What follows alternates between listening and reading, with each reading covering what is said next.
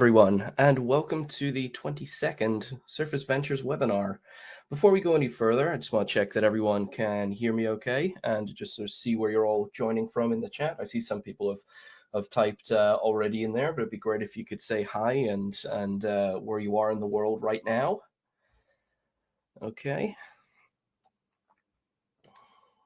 Oh, excellent stuff. Oh, India, UK, Kuala Lumpur, Fantastic. Great to see. Great to see. Okay, so uh, my name is Sam McMaster, and I am the uh, I am the event manager at Surface Ventures, and I will be your host today. Uh, here at Surface Ventures, we're a we're a non-for-profit organization, and our mission is to provide world-class surface engineering education for academia and industry.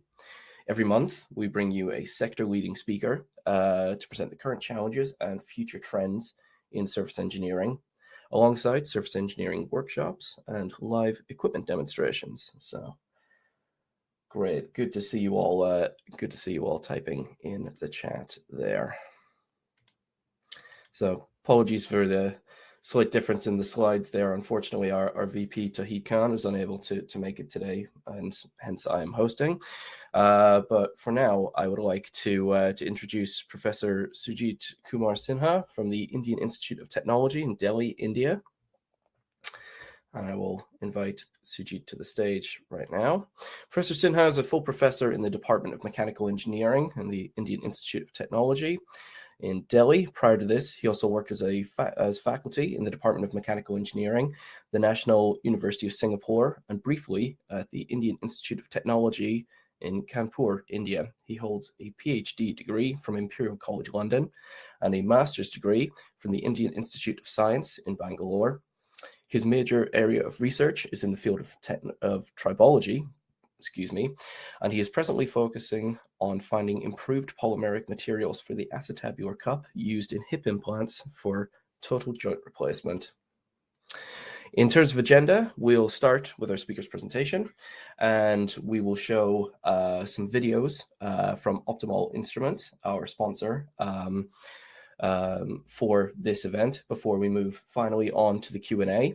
Uh, quick note about questions, please do type these in the chat and I will mark them uh, for the Q&A session. Uh, we're aiming to go for about 60 minutes in total today.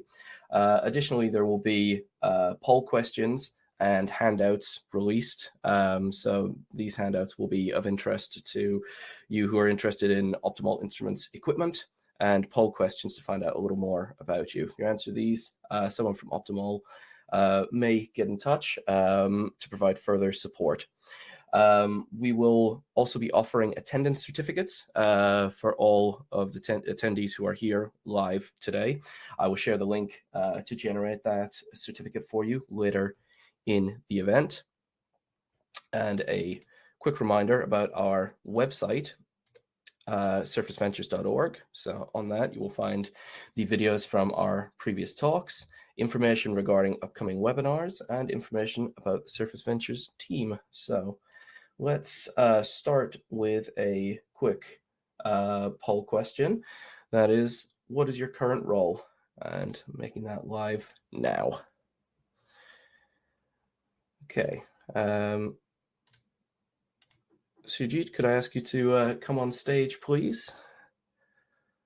Wonderful. Thank you very much. Uh, so great uh, to see everyone. We've got some researchers, students, and some some industry uh, industry members there.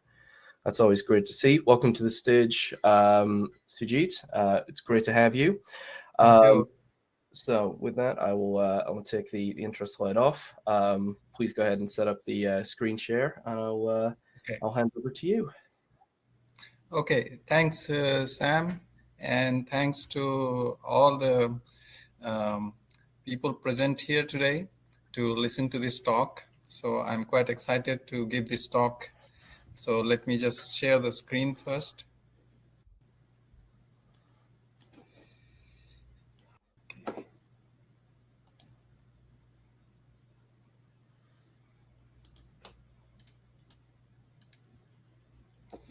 Yeah, can you see my screen now?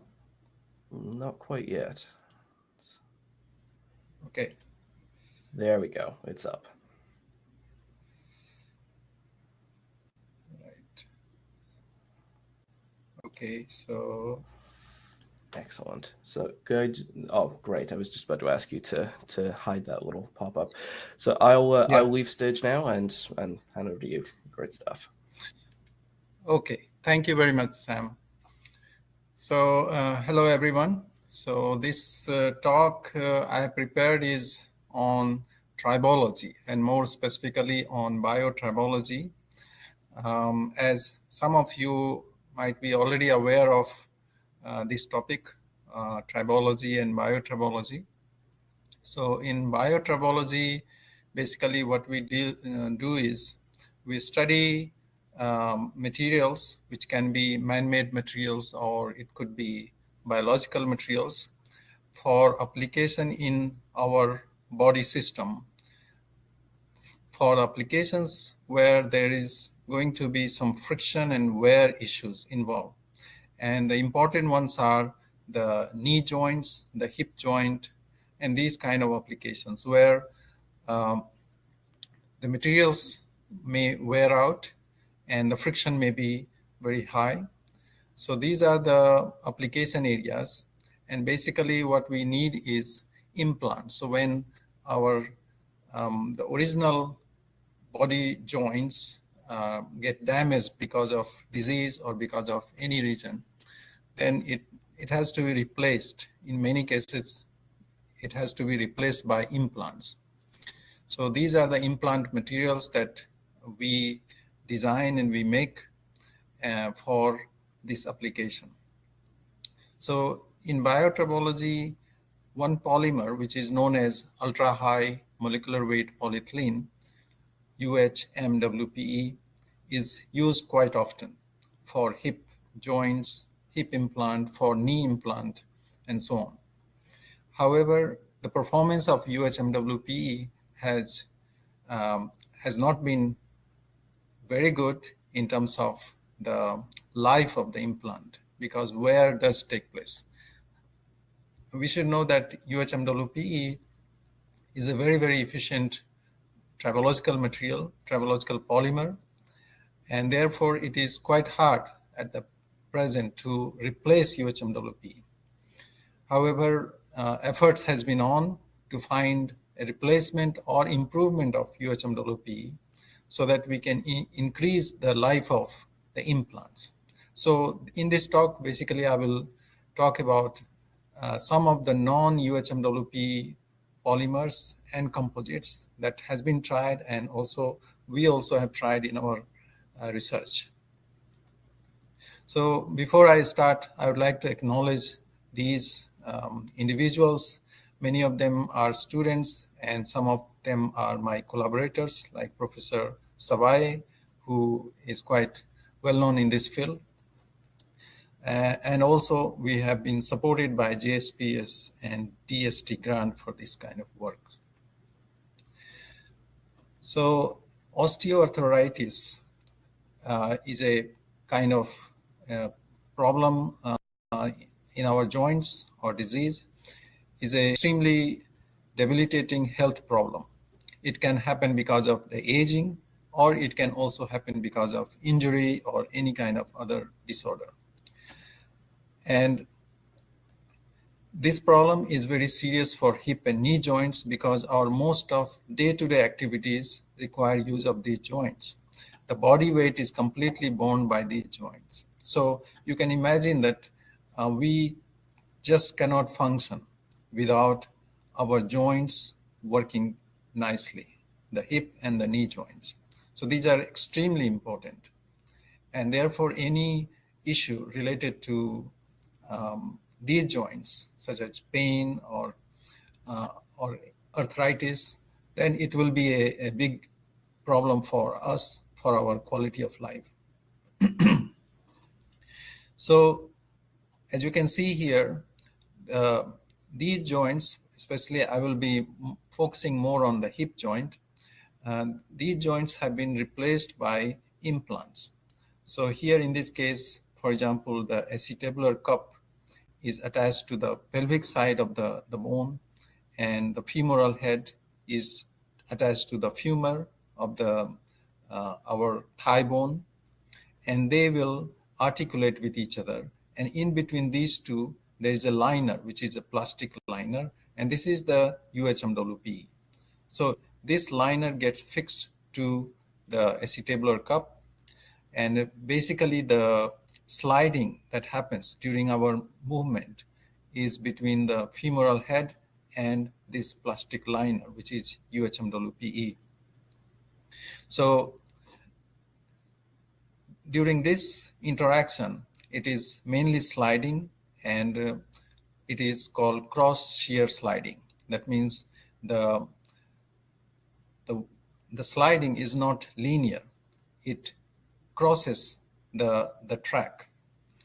And because of this crisscross uh, sliding, the wear is extremely high. Wear is quite high compared to a linear kind of sliding. This joint is also um, helped by the synovial fluid, which our body secretes in this area. So this fluid acts as a lubricant. So overall, this joint or this artificial joint or implant can work quite effectively. But some of the materials get worn out, like plastic, the UHMWP part, where debris comes out, and also this part, which is made of metal or ceramic, and especially the metal part will wear out, and these metal ions will enter our body system. Similarly, the plastic side, the wear debris will also go into the tissues, and there it will cause problem for the body because the body may think these debris as as foreign elements. So, so this this is how the body reacts to these wear debris. So our main goal here is to find a replacement or at least improve UHMWP such that we can reduce the wear debris formation for the metal part, sorry, for the polymer part. The metal part also has got the issue, but right now we are not focusing on the metal part. Uh, we are focusing on the polymeric part. Several solutions have been uh, proposed, but at the moment, um, total hip joint replacement is the is a kind of most practical solution. If you look at the, our joints, it is a hierarchical structure of cartilage. So basically the, the bone is covered with a cartilage and cartilage is extremely uh, smooth and very lubricating surface.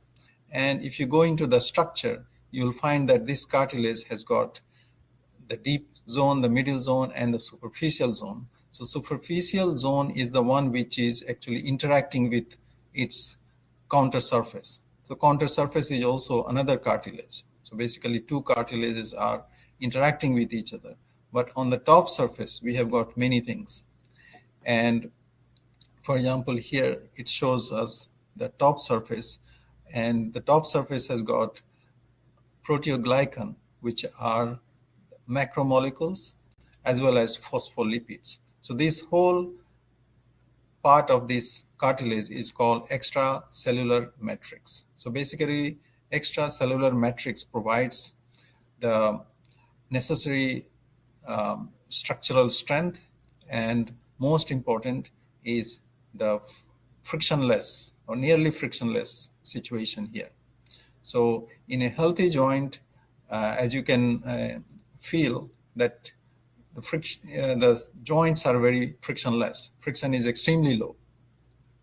So this is the characteristic of the lubrication system. Many lubrication theories have been proposed. Um, so it is believed that this lubrication is basically a mixed lubrication. That means the liquid films are formed partially. And also this cartilage, this part of the top cartilage acts like a spongy material. That means it keeps lots of water and the proteoglycans, all the, the lubricating molecules. And whenever under stress, these water and the proteoglycans are released and they provide the lubrication. This is also known as boosted lubrication. So many theories have been proposed. And So this, this is the original, the cartilage. And if you look at the much more in detail on the cartilage, it has got these fibers, these fibers, and further on, these are the molecules, how the cartilage structure looks like. So this is part of some simulation which we have been carrying out um, to understand how cartilage um, slide against each other and how friction is generated, as well as how wear is generated. So this is a some sort of brief on understanding about the cartilage and the lubrication system. If you talk about proteoglycans, it has got many macromolecules, uh, hyaluronic acid, lubricin, aggrecans, and also the phospholipids. So this is a schematic of the, the joint. So these are the two parts of the bones and the cartilage coverage here. And this is filled with the synovial fluid and the synovial fluid contains these molecules. So these molecules are basically uh, scattered on the cartilage surface, on the top cartilage surface, which forms the superficial layer on the top, which is basically interacting with each other. So this gives a structure of the cartilage, uh, starting with the bone structure, subchondral bone, and how the cartilage changes and the top layer is the superficial layer. So this is a, a good for us to understand about how our natural system works so that in the implant, the art, for the artificial system, we can try to um, mimic some of these uh, activities that happens in the nature. So much more in detail about these, um, the top layer molecules. So you can see that the collagen network is in the cartilage and lubricin molecules, hyaluronic acid molecules, as well as phospholipids, they are here. So these together provide the lubrication for uh, our system. And some of these molecules, especially these phospholipids and lubricin, they they they are charged. Overall, they are neutral, but they have localized charges, the positive charge and the negative charge. And they these charges, these localized charges, basically attract water molecules because water molecules uh, are dipole systems. So therefore, they attract water molecules and they hold water molecules for lubrication purpose. So this is the way how nature works for water lubrication. So hopefully our goal is in the future, we will be able to mimic all the functions and provide an implant which is as good as or at least very close to the natural system. Another thing to note about this is that the proteoglycan aggregates or proteoglycan molecules have got the central uh, link protein and some co um, the core is the protein and these molecules are attached or arranged in this fashion so that they can work for water lubrication and the positive and the negative side of it they will attract water molecules and they will hold the water molecules. So this is a explanation of the natural system. Now here is uh, more detail about the, how the implant is um, is made. So this is the acetabular cup made of metal. This is on the pelvic side of the bone, and this is on the thigh bone or femur, and this is femoral head. So the sliding will take place between UHMWP liner, which is attached to the acetabular cup, and the head part, which is made of uh, metal, cobalt, chrome, molybdenum metal, uh, or it can also be made of ceramic. So UHMWP has been the polymer part of hip and knee prosthetic joints since 1960s. So if you go into the history of this, uh, actually this is a very, very successful polymer. And this started with um, um, who introduced this polymer. And this polymer worked very well. Um, but later it was further improved by cross-linking. So cross-linked UHMWP showed improved mechanical properties. However, wear and fatigue properties deteriorated because of oxidative degradation. So because cross-linking in UHMWP using gamma irradiation um, produced many radicals and that led to oxidation of UHMWP. So later vitamin E was included and um, this solved the problem of the oxidation because it acted, acted as antioxidant and where and fatigue problems were um, were reduced um, because of which happened because of oxidation. So vitamin E has been um, used for cross-linked UHMWP to improve its wear and as well as fatigue problem. Here you can see uh, one of the, the knee implant here. And the, the wear takes place by what is known as adhesive wear. That means the metal actually sticks to the polymer part and gradually it removes the polymer part because of the fatigue action. Oxidative wear and the fatigue wear also takes place in this part. Oxidative wear because you can see some discoloration and some changes in the molecule uh, size. This UHMWP is a very large molecule, but because of the mechanical shear and uh, some um, chemical oxidation, the molecules will basically break down. So these are all part of the failure mechanism um, that takes place in UHMWPE. The wear particles are not good for our body because these wear particles are taken by the macrophages. So macrophages are in our body basically to consume any kind of foreign um, elements, which um, if the body identifies them as foreign elements, uh, it could be bacteria or virus, but it could also be these wear debris, which are micron to submicron in dimensions. So people have found that in tissues, UHMWP particles are taken by these giant cells and the body will um, react to this uh, action. That means some uh, inflammation, some swelling will happen uh, on the joints or near the joints, and this can eventually damage the implant itself. So, which means then the implant has to be actually reinstalled. That means revision surgery. And revision surgery is not a uh, desirable option for any patient. So our goal is to make sure that the debris particles that come out of UHMWP, first of all, they, they should be as little as possible.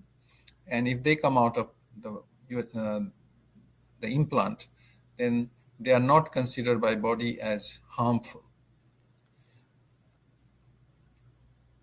So let us try to understand these uh, materials that we are working with. Uh, basically, uh, these are within our control, the materials that we use, UHMWP and some other materials. So if you um, work with UHMWP, you will understand the, uh, how the coefficient of friction will it will show. So in general, in a dry interaction, so that means if UHMWP is dry uh, sliding against a metal surface, you will get quite high coefficient of friction. But if the there is a lubrication of bovine serum liquid lubrication, then the coefficient of friction will come down. And this shows that it responds to the lubrication. In general, the specific wear rate we will see is in this range, which is 3.993 uh, multiplied by 10 to the power minus 7 millimeter cube per Newton meter. So this is the unit of specific wear rate, mmq per Newton meter. So always we will compare this number whenever we are trying to replace or we are trying to improve UHMWP, at least it should, um, the wear rate should go down. Only then we can say that, yes, we have improved the material. So what other material options we have? Uh, we can make composites of UHMWP. That means we can add particles or fibers to UHMWP. Um, other material that has been tried is PEEK or polyether ketone and its composites. Hydrogels are another, another group of materials which are very useful.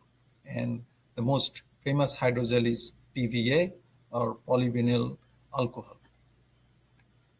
Then polymer brush grown on hydrogels. So different kinds of uh, polymer brush have been um, um, prepared and they basically mimic the proteoglycan behavior, which also acts like a brush. And if we have these brushes on top of hydrogels, then perhaps this can mimic our cartilage to some extent. Another uh, combination of material that we have been working on is the epoxy and UHMWP composite. So this, so I will show you data on these um, kind of alternatives to UHMWP as well as on the fifth one, which is our research topic. So for example, if you look at the uh, literature on UHMWP composites, so here, for example, um, multi-wall CNT,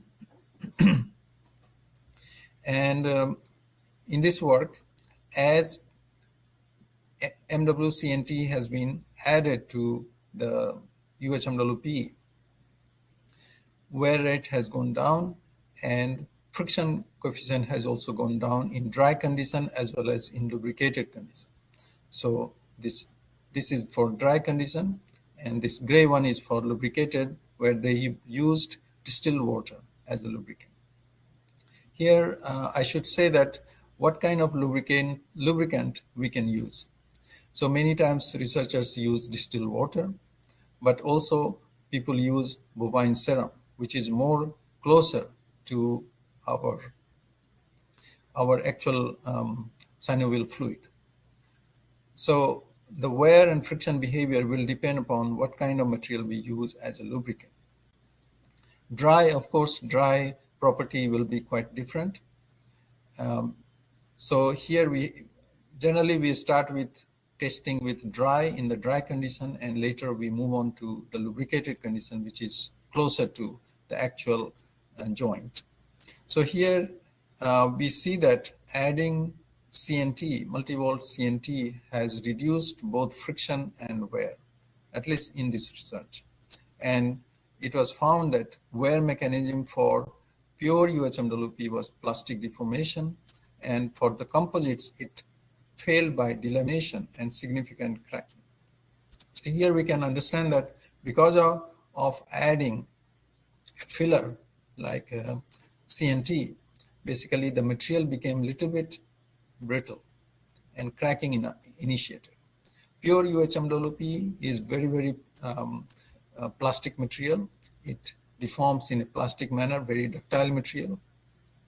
But if you add a filler, whether um, a particle or a, a, fiber, it changes its behavior from very ductile to uh, some somewhat brittle. And wear, especially wear takes place by delamination, uh, cracking, and removal of the, the fibers or the fillers. Some of our works have also uh, been represented here. So for example, these specimens we have prepared pure UHMWP, then UHMWP with PFP coating, which is perfluoropolyether. Then we have used 12% nacre UHMWP and some percentages of CNT. So these tests were conducted on a pin on disc uh, apparatus. So that means these specimen acted as the pin and we had the disc of stainless steel. And we were sliding in, in uh, bovine serum as the lubricant. So first of all, um, when we conduct this kind of tribological research, we start with finding out the mechanical property, that means the bulk mechanical property, and we find out the hardness. So hardness will change if you add some fillers. Okay. However, in this case, we have seen that the change is, is very, very minimum, not almost not much except in this case.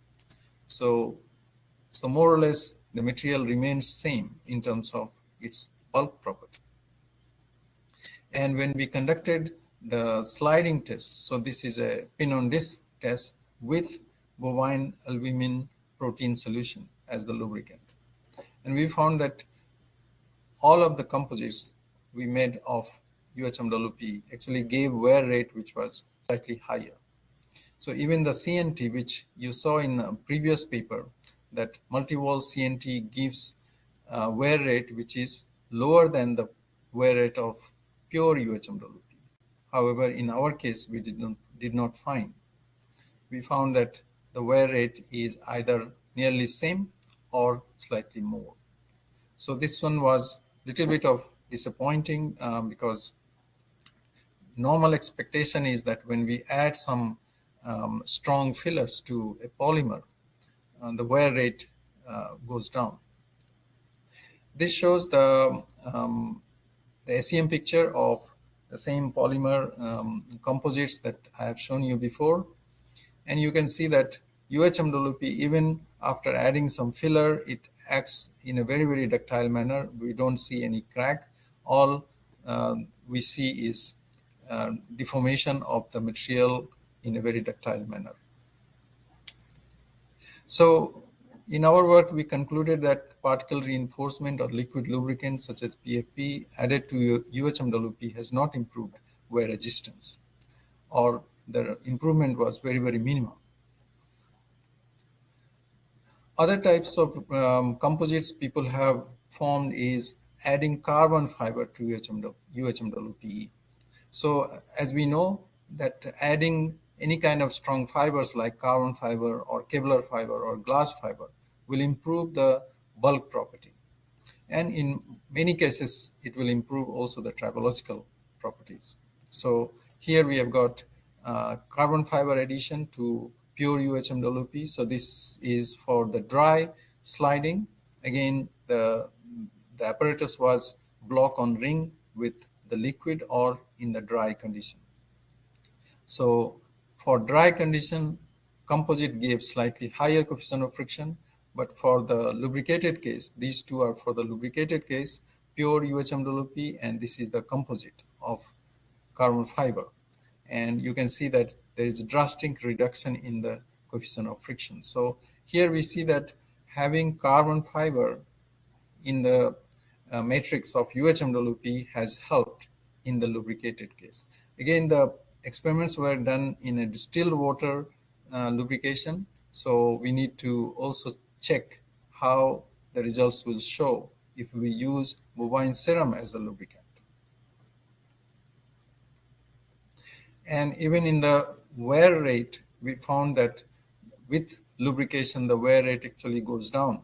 So this is a carbon fiber percentage uh, weight percentage. So 5%, 10%, 15%, 20, and 30% of carbon fiber. So as we add, increase the carbon fiber weight percentage, the wear volume goes down compared to the pure UHMW. So this is quite encouraging result, especially for the lubrication one. But as I said, this is this was done in distilled water. So we need to evaluate it in bovine serum and see whether we can get the same result. Again, I should tell you that in the biotribology, we start, we may start with pin on disc test, but we have to move on to a cross shear type of test. And one test which is done is called multidirectional pin on disc or MDPOD. And beyond that, we should use a simulator. So again, all these tests are done uh, in vitro. So we need to evaluate the performance of the material in simulator before any further in vivo trial can be done. So it's a long process. Here you can see that ACM micro, uh, micrographs of one surface, 20 weight percentage carbon fiber, reinforced UHMWP in water lubrication. Um, just the previous data I've shown you. But here what we can see that, of course, UHMWP will deform by plastic deformation, but here we do see some fiber pullout. And this kind of fiber pullout may not be very, uh, very good for implants because these fibers will again act as a wear debris or it will, um, the body will react to the presence of these carbon fiber. So this is another issue. And in fact, um, UHMWP and carbon fiber composite has been tried clinically. So this is a paper where um, failure of carbon fiber reinforced polyethylene was uh, studied. So that means in some patient it did fail. And so those failed specimens were looked at and what they found is that these fibers actually on the surface where the sliding takes place, the fibers actually gets pulled out because these fibers are in the horizontal condition like here on the surface and they get easily pulled out because of the shear stress. So this is a one big issue. And in fact, because of this reason, uh, this, this composite was tried quite early on in 1988. But since then, this composite has not been tried so much. And what the authors of this paper found that the failure was related to the poor bonding between the fiber and the matrix. Matrix is UHMWP and the fiber is carbon fiber. So it was more of the manufacturing issue rather than the material issue. So perhaps this, this type of system can be again tried. And in this one, the manufacturing part has to be resolved. That means the bonding between the fiber and the matrix has to be good. So here, fatigue failure due to poor bonding between the carbon fiber and the polyethylene particles and poor fusion of polyethylene particles during compression molding was mentioned as the possible case of failure. So, however, these kind of composites have not been tried um, since then, um, basically fearing about the issues that happened for these patients. Other type of uh, combination, we have PEEK and its composites. So some researchers have, as you can see here in this paper, some researchers have started working on PEEK, polyether ketone, as a um, replacement for UHMWP. PEEK is a very good engineering material. It has got better mechanical strength compared to UHMWP, almost double. And um, it has better creep resistance as well. But tribologically, PEEK is not a very, very good material compared to UHMWP. It gives slightly higher friction and wear is also high in the dry case. But here the authors have tried different composites. So one composite was with carbon fiber, another carbon fiber and graphene, and another one is with glass fiber. Whereas this one is pure PEEK material. And here the new things they have tried is that they have slit the polymeric part against itself, another polymer. So the pin is the polymer and the disc is also the polymer. So here the sliding is not taking place between the polymer and uh, the metal or ceramic, but rather polymer against polymer. And the idea is that um, this can give us even lighter system. So it will be lighter and also it will reduce the problem or rather eliminate the problem of metal ions that I was talking about, that metal ions get uh, released from the metal part and it goes inside our body and causes some harm. So having both side as polymer or polymeric material would be an advantage. And so sliding against itself. So for example, pure PEEK sliding against pure PEEK and the composite sliding against composites. And here you can see that pure PEEK has got lowest wear as well as the carbon composite. The composite with carbon has got lower, almost close, very close to each other, but glass fiber did not work very well. So here we can learn that carbon fiber in general has done quite well. Although uh, the previous result I showed you where there were cases of failures for two patients but the conclusion was that it was because of the poor bonding between the fiber and the matrix. So Perhaps carbon fiber has got some promise here. Glass fiber did not show very, very uh, encouraging, encouraging results. So this is the case of polymer sliding against polymer. It, it was not compared with the metal, how it compares with the metal. So we can only see the results of this polymeric material against polymeric material. And this shows the, the wear surface, which gets completely polished surface. And here you can see this is the glass fiber reinforced PEEK and where we get higher wear rate. So everything um, is within our expectation and uh, hopefully the polymeric material against polymeric material might be uh, another choice. However, if we look at the failure of the polymeric composites, and here in this case, the glass fiber one, and you can see lots of pull out, pull out of the fiber. So this, these fibers are longitudinally on the surface. So in the bulk, they are random, but on the surface, they are longitudinally arranged and they get pulled out during the sliding that takes place. And as you know, this, um, this sliding is not full uh, liquid film, but rather it is mixed. So there is a, always there is possibility of dry interaction between the two surfaces. In this uh, another uh, work, PEEK was used and PEEK was slid against UHMWP. That means if we have got the acetabular cup of UHMWP, then PEEK is the other part or the femoral head.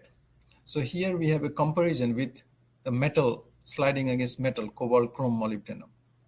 And here people have shown that when PEEK is sliding against cross-link UHMWP here, it gives far better result. Okay, so the disk material is PEEK here, and the cobalt chrome is this one when the disk material is cobalt chrome. And this result is for the wear of the disk part.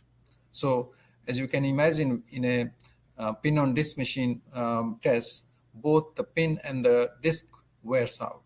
So here we can see that disk wearing of the PEEK disk is much less compared to cobalt chrome molybdenum. And the pin part also the pin of PEEK was wearing less compared to cobalt chrome molybdenum. So overall, it is concluded here in this work that PEEK has got PEEK sliding against UHMWP has better result than PEEK sliding against cobalt chrome molybdenum. However, I, I should say that this this kind of results needs to be verified by third party because in this work the work itself was supported by the company which made the PEEK. So there's a, um, it needs to be verified by independent uh, research. The another material that we have uh, is the hydrogel, polyvinyl alcohol PVA as hydrogel. So PVA is being used or this kind of hydrogels are being used for many other uh, purpose purposes within our body system. But for the joints, for hip or knee joints, this has not been um, clinically tested. But in in vitro uh, tests have shown good promise. So, for example, quite early on in 1996, the PVA was used and some tribology tests were conducted and it was found that PVA gives better result compared to UHMWP when sliding against a glass surface in a simulated uh, lubrication system. In one case, water, another case, glycerin, 61 weight percent with water solution. So PVA um, or hydrogel is being tested by many research groups presently. Um, further on, the same group have conducted uh, PVA with um, um PVA gel and this is freeze thaw and gel and this is cast dried so just different way of making these hydrogels and it was found that PVA-CD which is cast drying process gives a better result than the FT and perhaps the hybrid one will give some better result.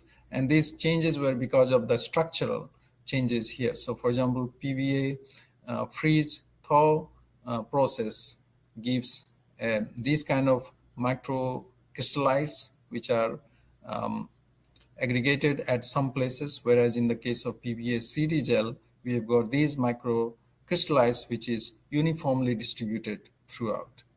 And because of this, uh, PVA CD is transparent, whereas PVA FT is not uh, is opaque. So there is a difference in the crystalline structure, and overall PVA hybrid gel, that means it's a combination of FT and CD, gives a better result.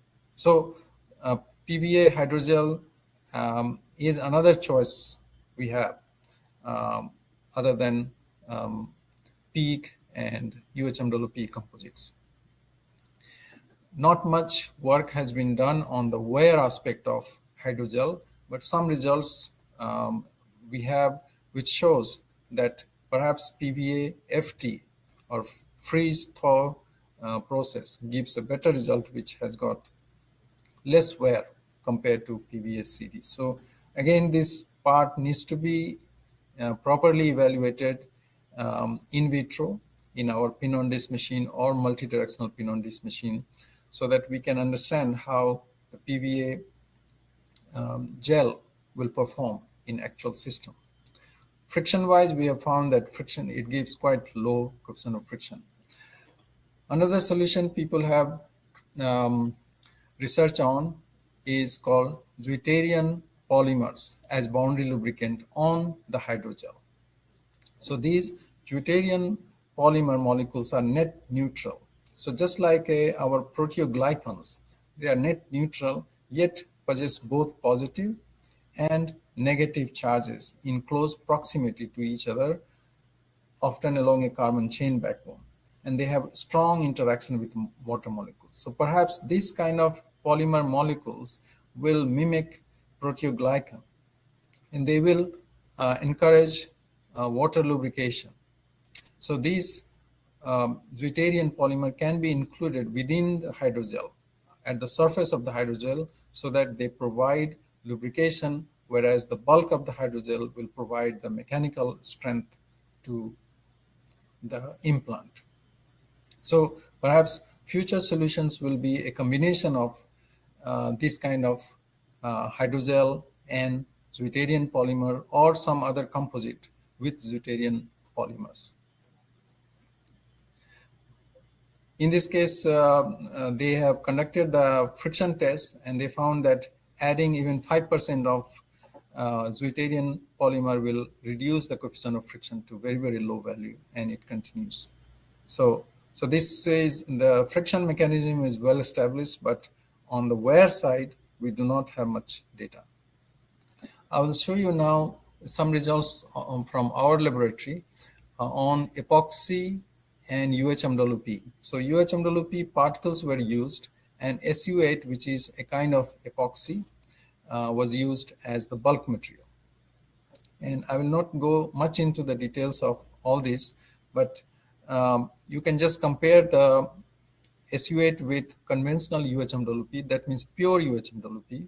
UH, uh, SU8 is a stronger material mechanically, um, but it, it has very poor tribological properties. But if we add these particles of UHMWP into SU8, it gives a better result, far better result. So that we will see. So we have added um, SU8 and into it we have added UHMWP particles different weight percentage. And we have also added HA, hyaluronic acid, as another filler. HA acts as a lubricant in our natural uh, synovial fluid. So this can be become part of the composite material. So this is what we have done. And this is a curing agent because SU8 is an epoxy. It requires some hardening uh, agent to start the hardening process. And the, the samples were uh, made into the pin form and then they were slid against a, a metal part, cobalt chrome metal surface in a multi-directional uh, pin on disc test. So I will show you some results on this with different percentage of HA, but UHMWP percentage was fixed at 25% weight percentage. And they were also compared with pure UHMWP. So this is a um, um, new uh, wear test we um, developed. In this, what you do is one of the problem with uh, Sujit, sorry for uh, apologies for interrupting. Yeah. Can I? Uh, so we're coming up to about ten minutes left of the uh, of our sort of general hour of, of the event. Um, do you okay. have many slides left?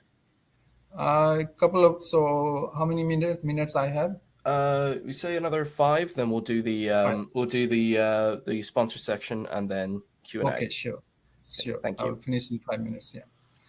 So in this, uh, what we did was uh, the one of the problem with this kind of biotribological test is that these polymers will soak a lot of liquid fluid, which is basically water and other proteins. And because of this, the wear evaluation becomes a very very big problem. So here we did, what we did was we made some holes on the pin surface. And as the pin is wearing out, the depth of the hole will be reducing. And this is how we will find out what is the overall wear. So we made some five holes at different places. And then we measure the uh, depth of these holes to evaluate the wear. So this is the, the Vickers hardness test. So after adding these um, fillers in the dry case, you can see that there is a increase in the mechanical strength. But if we soak it in serum, um, bovine serum, then mechanical strength does not change much. That means because of soaking of water and these kind of proteins, actually the material becomes softer. It softens slightly.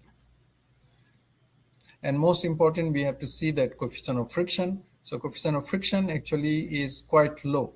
For UH25 means 25% of UHMWP in SU8. Pure SU8 gives a very, very uh, high coefficient of friction. But as soon as you add 25% of UHMWP and then some percentage of HA, which is hyaluronic acid, and you get a very good, good surface, very low coefficient of friction. So HA02, that means weight percent 0, 0.02 gives the very consistent low result, low coefficient of friction results. And it was slid for quite some time. The number of cycles were more than like 200,000. So this gives a, a very good uh, system to work with. And in terms of wear, which is another important part, is that we found that um, sorry, this is also coefficient of friction. So average coefficient of friction in the steady state, and it gives a low coefficient of friction for our composites, even compared to the pure UHMWP. So this is very, very encouraging. And we compare the wear rate, even though there are a lot of scatter in this kind of um, evaluation of wear rate, but our composite, which is 25 UHMWP and uh, 0.02 or 0.05 of HA gives a low wear rate. So this is compared to pure UHMWP, which gives 3.93 10 to the power minus 7, uh, which is much higher compared to these. So overall, we have achieved a very good um, low friction and low wear condition for these composites in our multi-directional pin on disc test. So finally, I will summarize the whole thing um, many efforts have been made towards finding a solution of hip and knee joint prosthetic implants going beyond pure UHMWP. So one thing we should know that pure UHMWP is still a, a very good material, but we need to find some replacement or improvement. PEEK with crosslink polyethylene has shown promise, but needs to be re-evaluated. So it is very important that it is re-evaluated um, and PVA hydrogel and a combination with a Zwitterion polymer boundary lubrication provides another promising material, which is non-UHMWP. And from our research, we have found that epoxy or SU8 or similar thermoset with UHMWP particles and a boundary lubricant can hold another promise for future evaluation. So this is all about how uh, what has been done in research uh, in biotribology research for non-UHMWP um, polymeric systems. So before I end, I would like to um, introduce you this conference we are organizing called indiatrib.org. So please go to this website and you will find all the information. So if any of you is interested to attend this conference or if you belong to a company, you may very well try to sponsor our uh, conference. So thank you very much. Okay. Yeah, that's excellent. Thank you very much, Sujit. That uh, yes, Sam, back to you. Fascinating presentation. Thank you. Thank you. Uh, so for now, we will uh, we will switch over to um, uh, sponsor videos. So we have uh, two of these from Optimol, and I will also release the uh, uh, release some handouts um, from them, and then we will go to uh, Q and A. So, CG, if you like to, you can stay on stage. Could you just mute your microphone, please, just so that we can play the videos without any interruption? Thank you very much.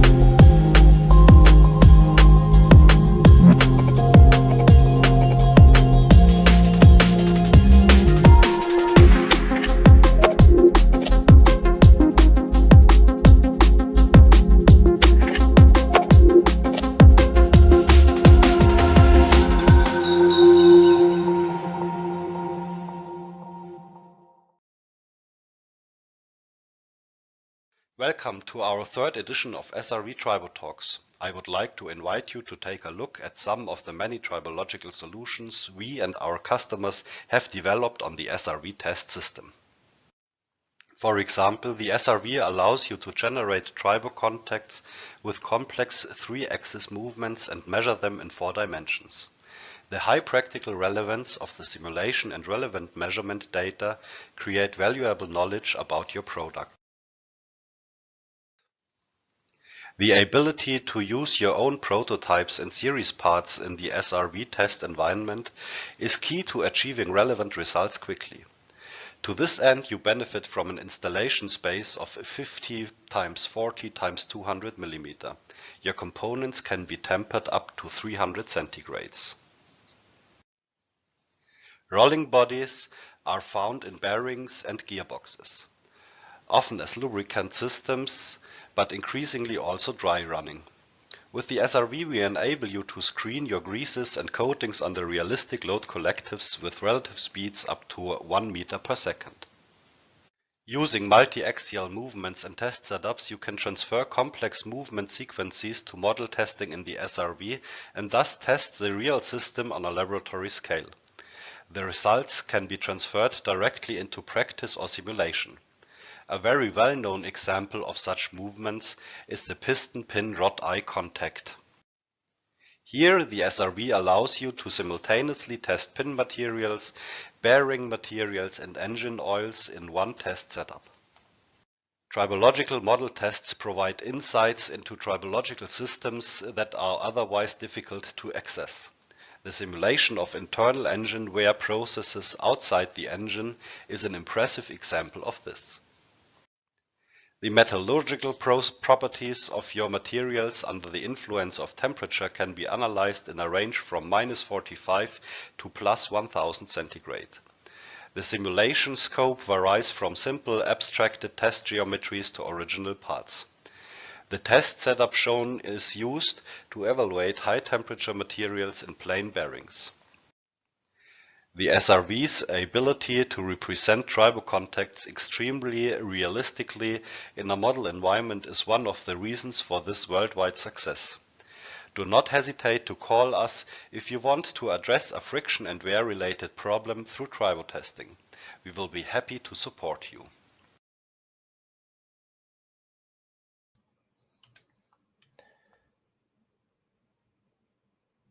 Okay, Great stuff. So that was uh, was Gregor Patzer from uh, from Optimol uh, recorded there, talking about the uh, the SRV platform.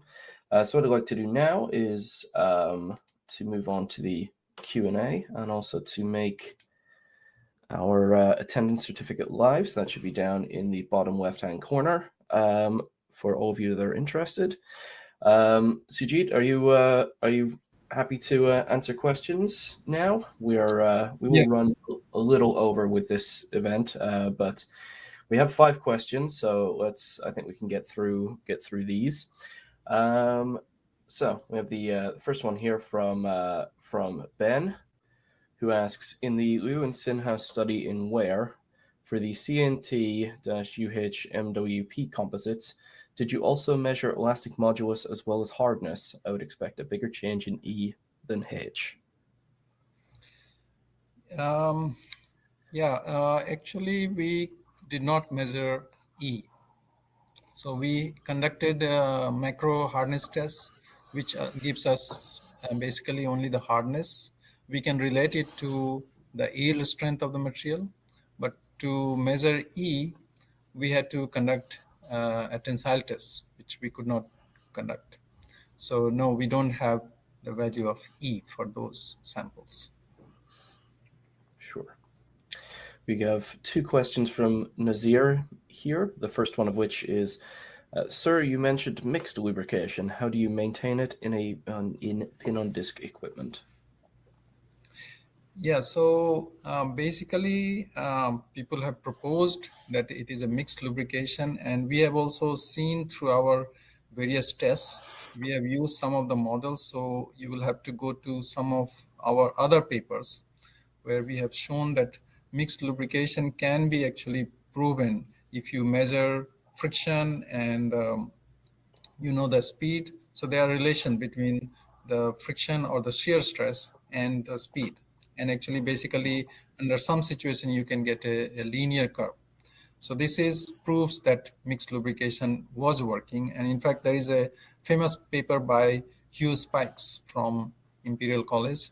Uh, if you are interested, please go to the, that paper. And um, also very classical paper by Professor um, Brian Briscoe, also from Imperial College. So um, and if you go to our papers as well, you will find that it's possible to actually prove that there is a mixed lubrication.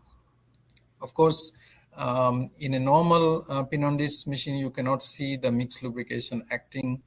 Uh, what you can do is perhaps you can make one side of it as transparent, and then you can do some imaging from the back end, from the back side, and you can show that there is some formation of mixed lubrication. So this is basically uh, theoretically you can prove if you know the shear stress and the velocity and you conduct the test at different velocity, you can show that uh, there is a mixed lubrication condition here.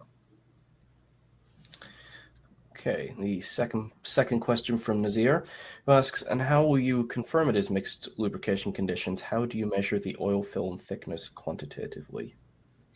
Yeah, so I have already answered how you confirm the mixed lubrication.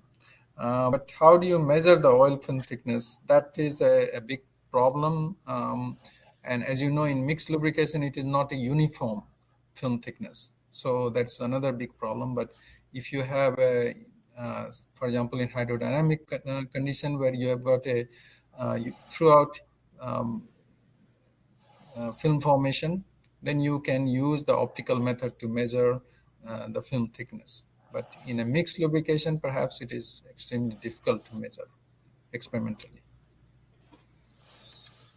Sure. We have a, a question here from Dilesh who asks, what kind of tribological influence can be expected due to the different molecular weight of the polymer, in parentheses, UHMWPE? So um, normally what we use is uh, UHMWP, which I believe has got molecular weight of 3 million or in that range. Um, this is a standard material that uh, we get for UHMWP. Another polyethylene is a, a high density polyethylene, HDPE, which has also been tested to some extent, but UHMWP has got better performance. So I don't have any data or any, even I have not seen any paper where different molecular weight of UHMWP has been tested. So this is all basically from the same source of UHMWP that everybody is working on. Um, so, yeah. A question here from Pedro, who says, Hello, Professor. Thanks for your talk. How do you evaluate the effects and consequences of absorption of bovine serum, for example, by the polymer only by hardness measurements? So um, the absorption of bovine serum or even water, if you put them in water, it will absorb a uh, lot of water in it. So up to weight percentage could be up to by 10%, depending on the polymer. But for UHMWP, it does not absorb so much. So uh, hardness is one way to say how uh, how the bulk property has changed. Um, so how do you evaluate the effects? So effects uh, and consequence will be basically you will have to see the tribological effect on the tribology. And so you soak the specimen in that liquid for several hours, sometimes six or 10 hours, and then you conduct the tribology test and see what is the effect. And hardness test, you can get the bulk properties. So these, these are the two things that we can do to find out changes in the bulk property or the tribological property because of soaking.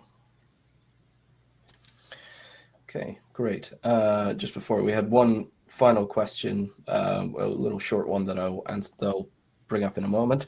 Um, I just wanted to say for anyone interested in the attendance certificate, please do click on that link uh, now, um, as that will be getting replaced with with another one soon. Uh, so come on to our, our final question um, which uh, which says which tribo machine is most appropriate for polymers testing. So um, for biotribology test, as I was talking about, what is important is the cross shear motion. Cross shear means the where uh, the the sliding to, should take place um, such that the wear tracks meet at an angle. They should not be linear in one direction. So this cross shear can be achieved in multi-directional pin on disc machine. So this is, uh, there are many um, researchers, many groups have it, you know, for example, Leeds University, and recently we also have made our own uh, in Kyushu University. Uh, so they, these are um, different designs that are available and you, you can actually um, make your own or you can buy them there are also commercial such machines available. So this is for pin on disk machine, multi-directional pin on disk machine. But the second stage should be on a simulator. So simulator is, is a much more advanced machine where it will simulate actual the hip movement or knee movement. And it will give you uh, crisscross uh, the motion uh, as well as variation in the load because when we do our uh, daily activity, our loads keep changing. So it will simulate the actual hip uh, operation. So it has to be tested in the simulator before we can think of uh, any uh, in vivo tests. So. Okay. Great, thank you. Uh, so we're, just, we're going to uh, close the close the event there, and um, okay. apologies if for those people who didn't get their uh, questions answered. So let me just bring up our our final slides. Uh, our final slide. So I just wanted to say um, thank you, Sujit, very much for that fascinating talk. That was um, that was uh, that was that was fantastic. I was uh, enjoyed every minute of it. Um, I just want to say thank you, all of you, for uh, for asking great questions as well. We love to, uh, you know, we we love to have this this this interaction um, with our audience. Uh, I just want to say thank you to uh, to Optimol Instruments uh, for the support uh, to run this event. We would not be able to do anything that we do here at Surface Ventures without our partners. Um, I just like to give a reminder to uh, to all to uh, visit our website to look at previous talks. the replay for this talk will be uploaded within the next day. Um, and I'd just like to say our next event um, will be will be up on the 28th of July. So let me just bring up the uh, the registration site for that. Uh, this will also be up on our, our website later. Um, so please stay tuned for our uh, upcoming emails and LinkedIn posts um, about this event. And finally, I'd just like to remind you all about our fortnightly newsletter, Modern Surface. Uh, by signing up to our mailing list, uh, you will receive this. Uh, and finally, I'd just like to say to all of you in the audience, uh, thank you for your support as well. And in future, I would just ask that you, if possible, uh, take the time to, to advertise these uh, webinars to your contacts. Um, it would be great that we continue to to grow our audience and reach reach even more people. Uh, so with that, I'd like to say a final thank you uh, to our speaker, Sujit. Thank you very much uh, for your great talk today and for answering the questions, and to all of you in the audience for joining. Yeah, thank you, Sam, and uh, your whole team. And I also would like to thank uh, the audience for being here uh, and um, you know interacting with me. So it has it was a very great great um, pleasure for me. Thank you. Fantastic. Thank you very much. And wish you all a great rest of your day. And we'll end the webinar there. There. Okay. Bye bye. Bye.